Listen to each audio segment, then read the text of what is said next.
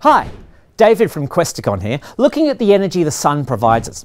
Look outside, you'll see the sun is shining and burning and doing its thing. And we were able to make use of the energy it provides in different ways.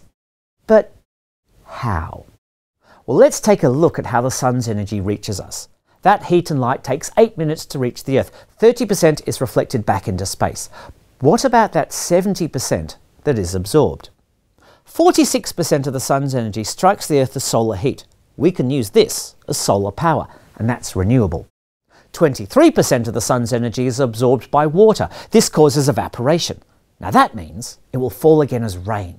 We can use running water as hydropower. That's renewable too. 1% of the sun's energy is absorbed by gases in the atmosphere, which causes convection, hot air rising and cooler air sinking. This creates wind. We can make use of this energy as wind power. That's renewable too. The wind also causes waves, which we can use as wave power. There's a little left. And it has been estimated that 0.08% of the sun's energy is absorbed through photosynthesis. That causes plant and bacterial growth. Of that 0.08% of the sun's energy that becomes life, 0.007% eventually decomposes from life into basic hydrocarbons like oil and gas. And we call these fossil fuels. And because when we use them they are gone, these are non renewable sources of energy. And in Australia, in 2019 to 2020, we used that tiny percentage for 93.6% of our energy use. Let's just think about that for a second 93.6%. We use these fossil fuels a lot. What do we use them for most of all? Well, mostly for two things. Over a quarter of all energy used in Australia is for transport, for cars, trucks, boats, and planes.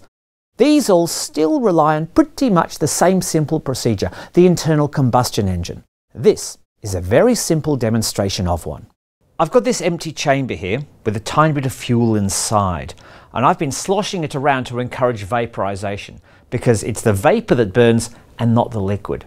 Let's see what happens when I drop a match inside.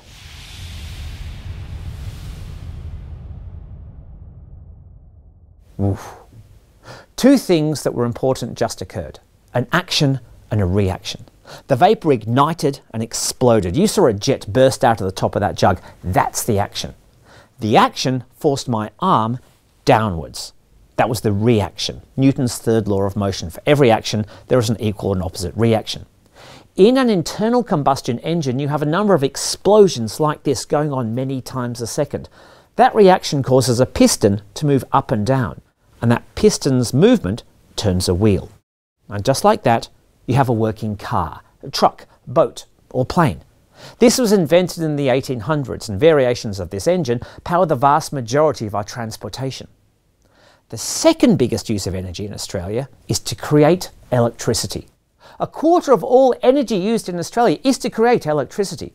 Of that electricity, only a fifth is made from renewables but the majority of electricity that is generated is done through another basic device, a thermal power generator. Quite basically, you burn a fuel that boils water to create steam which turns a wheel to make electricity. This is chemical energy to heat energy to movement energy to electrical energy.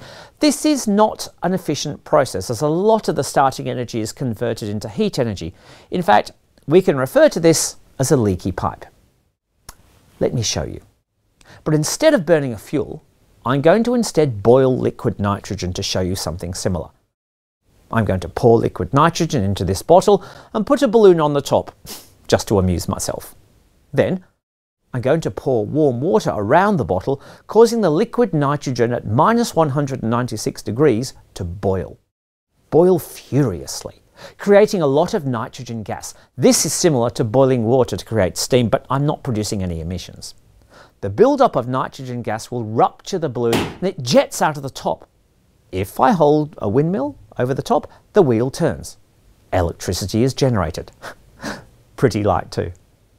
If you replace the liquid nitrogen with boiling water, this is how 80% of our electricity is generated. Coal, gas, oil, nuclear and geothermal power all involves having something that boils water to create steam that turns a wheel to make electricity. Hydro, wind, and wave power are more efficient. They just turn a wheel directly. And solar uses things called photovoltaic cells, which skips the wheel completely, transfers light straight to electrical energy. So, 79% of electricity in Australia is generated by burning coal or gas or oil. Are there more efficient ways of doing this?